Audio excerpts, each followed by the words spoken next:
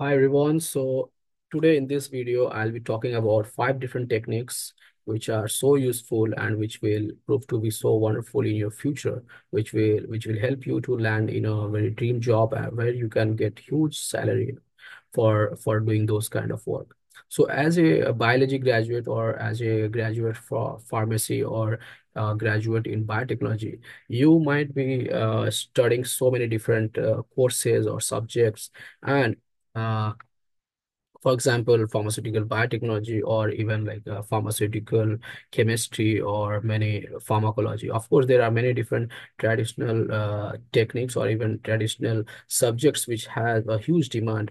But in this video, I'll be talking about those uh, uh, those techniques which don't require too much of resources or even don't require any bench work or even any kind of uh, uh, lab lab research where you don't need too much of money to buy certain uh, huge stuff or even to buy any expensive instrument. Uh, so in this video, we will explore five more five powerful bioinformatics techniques that not only advance scientific understanding but also uh, immense potential. Uh, but also it has an immense potential for financial success. And uh, believe me, uh, I know that uh, while working in US, I have seen a lot of people. They have been earning huge money, even uh, like as a bioinformatician, they have they have been doing a lot of data analysis and paying huge money like 60 or 70,000 US dollar a year or even like more, you know. Some people even make like 100k, 100k US dollar a year. So these so in this video we'll be emphasizing in on those five different techniques where which you can learn and increase your uh, CV uh, CV's quality and enhance your skill. So first technique is the genome wide association studies that is also referred as G GWAS.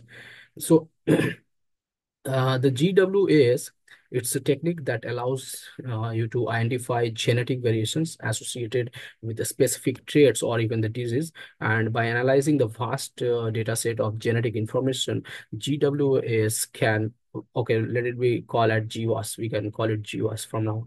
So this GWAS analysis can uncover links between genes and valuable characteristics in agriculture or even medicines and and whatnot in beyond like even whether it is pharmaceutical uh, industry or whether it is a biomedical research industry.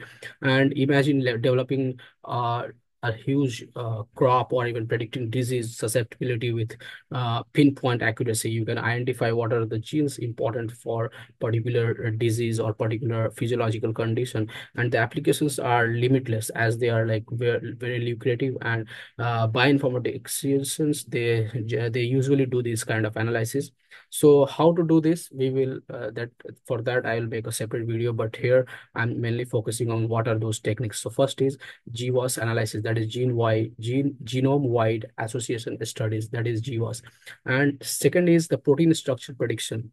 As a pharma graduate or or as a chemistry graduate you might always hear, heard about some protein protein structure prediction. So in this uh, technique, the protein structure is predicted with different kind of tools, including molecular uh, molecular simulation kind of studies, or even uh, with the advanced algorithms and machine learning. And for example, recently there is uh, there is there has been launch of AlphaFold based uh, like AlphaFold two or even AlphaFold three. These are used for protein prediction structure, protein structure prediction. And we can even forecast the three-dimensional shape of the proteins from their amino acid sequences. And this capability is like is, is like booming, you know, it can revolutionize the drug discovery and design, and it can even potentially slash developmental cost and time to market for new pharmaceutical product. And the financial implications for the biotech and the pharmaceutical industries are quite struggling for uh, using this technique. The third third one is uh, uh, the third one is well, the third one is the metagenomics. The metagenomics is a it's a very important technique, and it's it studies deals with the genetic material uh, recovered directly from the environmental samples. And this powerful approach, uh, it allows us to explore the vast untapped potential of the microbial communities. Here you can analyze the microbe microbes uh, from different samples and from developing new antibiotics to creating even more efficient biofuels or even metagenomics that this this particular technique is very very important and it opens doors to entirely new industries and revolve uh, the streams around it So this metagenomic is also very, very important technique. If you learn uh, this technique, uh, you can analyze the microbial samples and you can find some target uh, based on that analysis.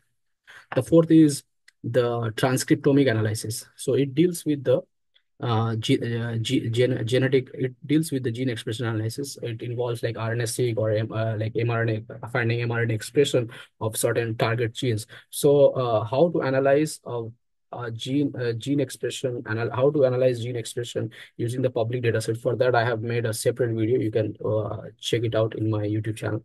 So, uh, well, in this, uh, we'll just talk about this transcriptome analysis. Here we uh, we mainly deal with the study of the complete set of mRNA or RNA transcript that is produced by the genome, and this technique provides crucial insights uh, insights into gene expression pattern, offering a offering a dynamic view of cellular activity, like how the cells are behaving, uh, depending on the gene expression analysis. And in the fields like personalized medicines and uh, even the agriculture, biotechnology, transcriptomics, this can even guide the development of tailored treatments and even high crops or even pro promising substantial uh, return on investment. So with this, you can find some target hits. Even you can find like what kind of uh, genes are important, what kind of genes are uh, playing important functions in certain uh, physiological as well as pathological conditions.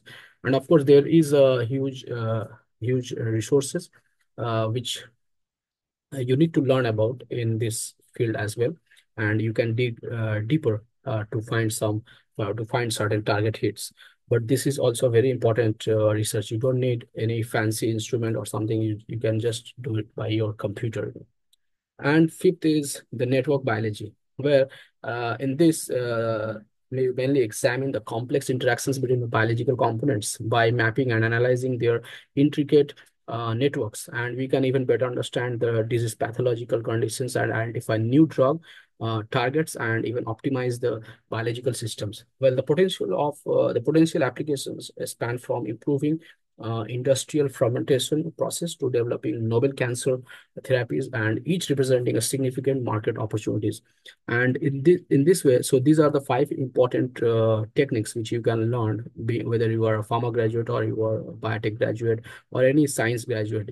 Uh, first is uh, or any biology uh, biological science graduate like uh, first one is genome wide analysis uh, that is GWAS studies genome wide association studies. Second is protein structure prediction. Third is metagenomics. Fourth is transcriptomics.